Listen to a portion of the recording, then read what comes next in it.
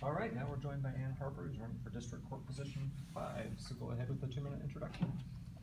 Uh, the introduction is that I'm currently, uh, sitting on the King County District Court. I've been on the bench for seventeen years. Um, I have, uh, I think a pretty thorough knowledge of the justice system. I started, uh, working as a public defender when I was still in law school, uh, thirty-seven years working in the justice system, including, uh, Ron Sims appointed me to be the director of the King County Office of Public Defense, uh, which is a forty million dollar a year system, thirty thousand cases a year. So I have a lot of administrative and budget experience as well as experience on the bench, and then as a public defender, represented about three thousand people, primarily in the felony division, thirteen of the sixteen years were in that division. So I'm very invested in the system and wanna make sure that the system's the best system that it can be. I did, uh, bring a bio sheet, uh, for you to take a look at that has a little bit more detail. But actively throughout my career, I've been not only dealing with the cases and the work that I had, but trying to improve the quality of the response of our justice system in various areas. uh, Domestic violence, mental health, chemical abuse, and dependency, and right now I'm, uh, the civil judge, so I'm working on trying to make the civil system more accessible, more understandable, um, and, um, and more compassionate and thoughtful. We're trying to increase our use of mediation, so people don't end up with small claims judgments going on their credit ratings, which is pretty destructive, or anti-harassment orders entered against them when mediation might be a- an option um, to an anti-harassment order. Great, so now we have our four prepared questions are in front of you, if you wanna turn them over and read along as we read them aloud.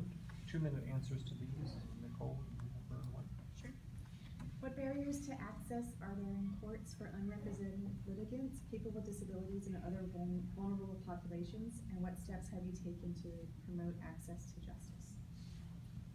Uh, King County District Court is what's known as the, the People's Court, so a lot of people come in there unrepresented, from traffic infractions to small claims cases, which are by definition without lawyers, um, and anti-harassment orders, I'd say ninety-five percent of the anti-harassment orders are, are without counsel. So one of the things that I've seen is people just don't get enough information.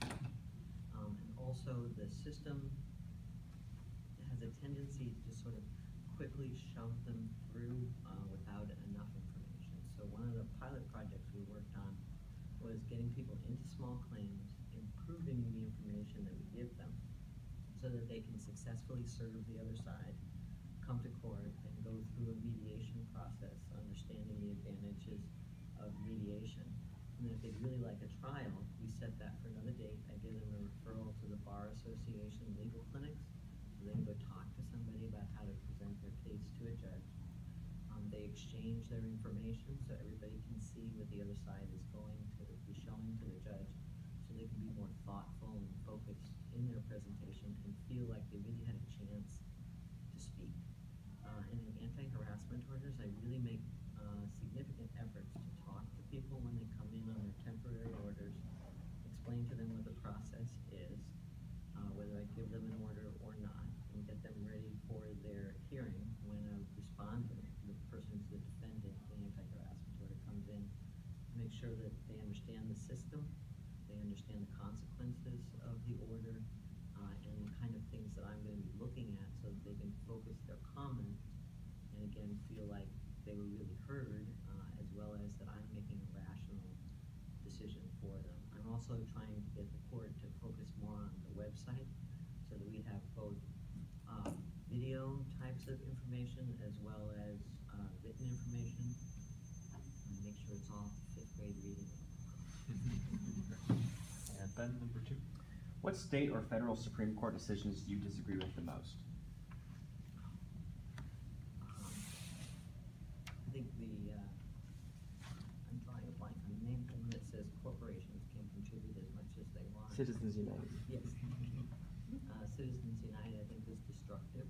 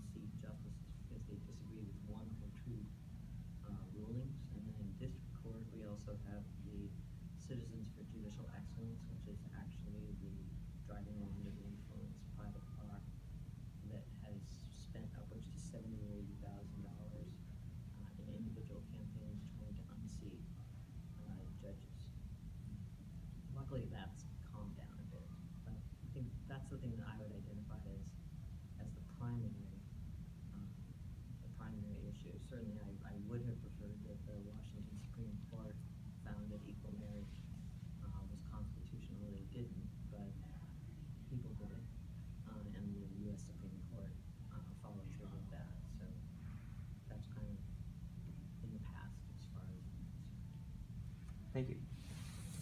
Number three. Um, please describe your belief around the concept of restorative justice and whether you see a potential for judicial action from the bench as influential on the uh, on that process.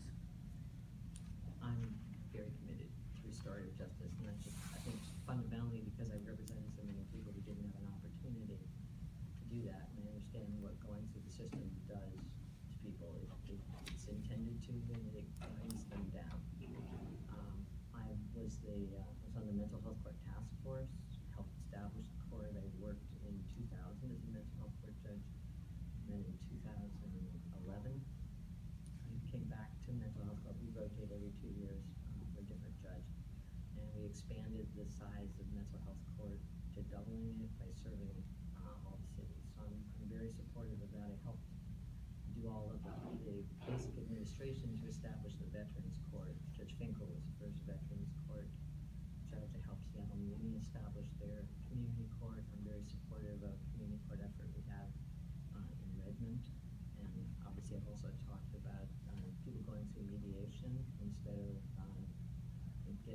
often civil judgments or in the prosecutorial jails are considered to be uh, restorative. And the fact, I think the fact that we make people go through a mediation process before their trial in small claims is very important because they have to they sit down and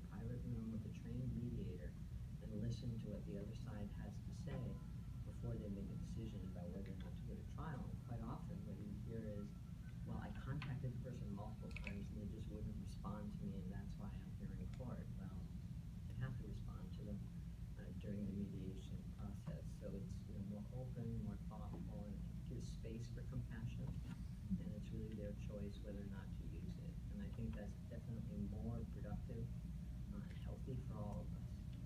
Thank you. Please share an incident or aspect of your work history that has changed or enhanced your interpretation of the law. Um, certainly, I think the although the work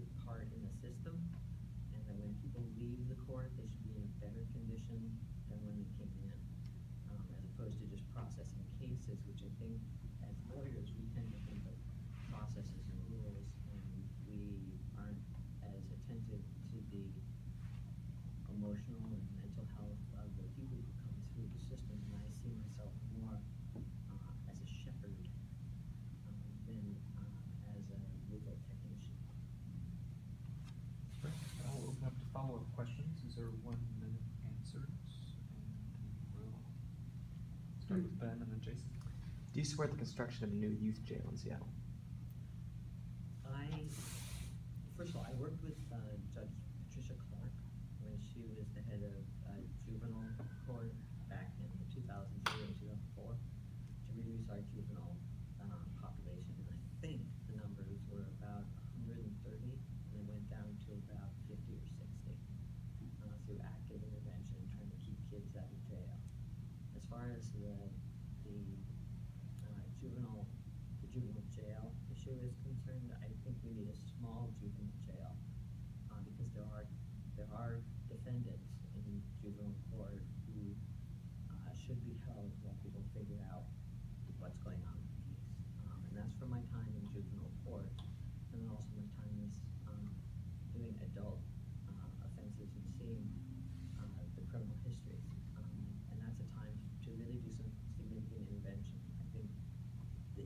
focusing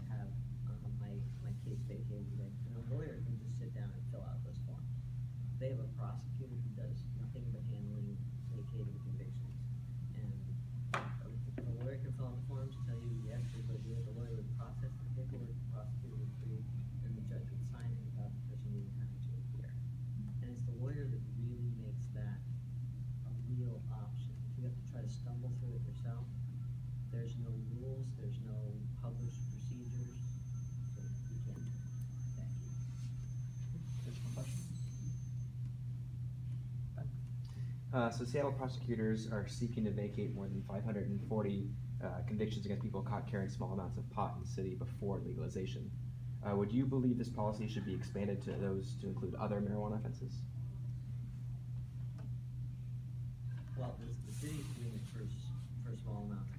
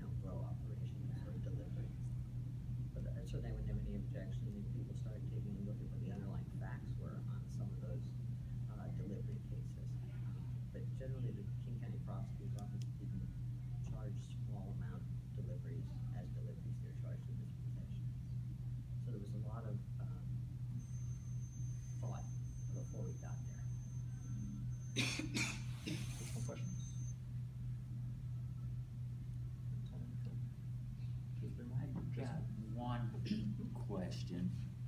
Um, uh, a trick that usually happens um, in, of course, Alabama again. Um, the courts doesn't, uh, when you have a non-guilty, uh, they purposely forget to update the National Crime Lab um, database. Right. So when you happen to have a new job, you go across the border, and you're arrested, and you're then you're fired, right? Yeah. You know, what some of the safety nets or procedure stuff that Washington State may have to prevent that situation? Well, I was I was very um, interested in the reliability of the National Crime Information Center databases that were being used because the King County Prosecutor's Office was using those to say that my clients had prior convictions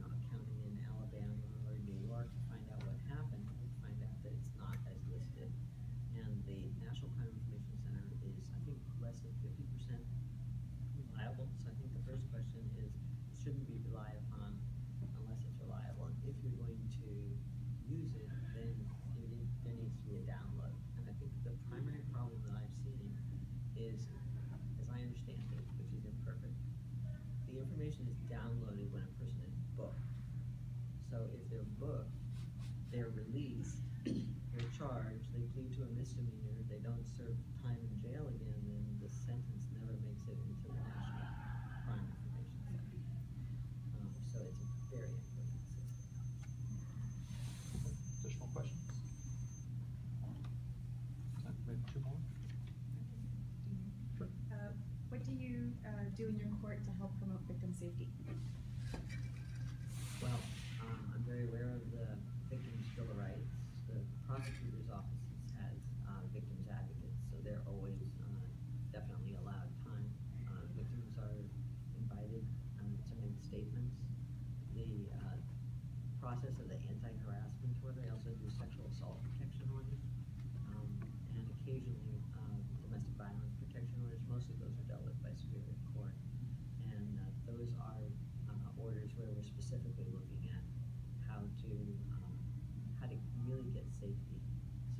someone comes in and they want a domestic violence order, they often I'll refer them up to the King County Prosecutor's Office to see if they can take a few minutes to speak with an advocate uh, and actually do some safety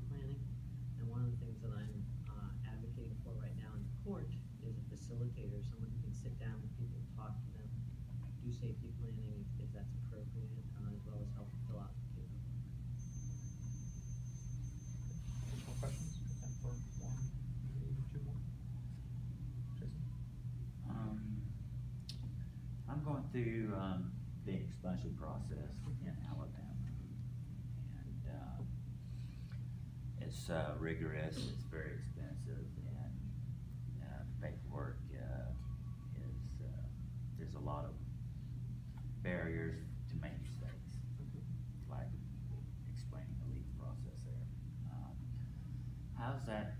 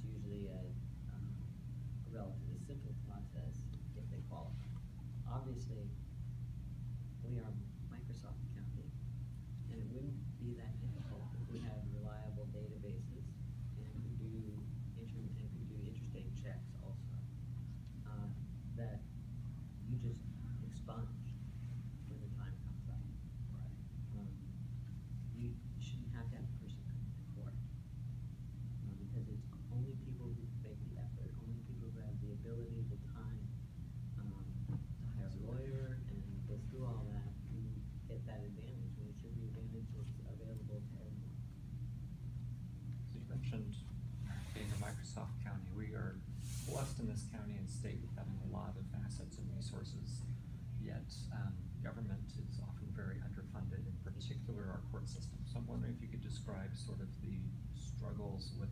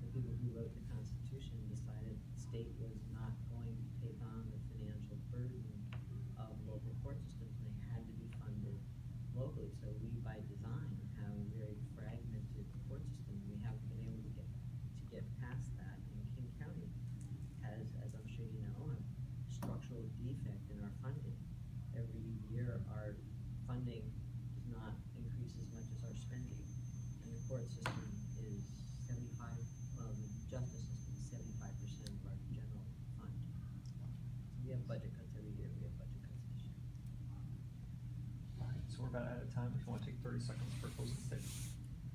As the president, I just want to say is thank you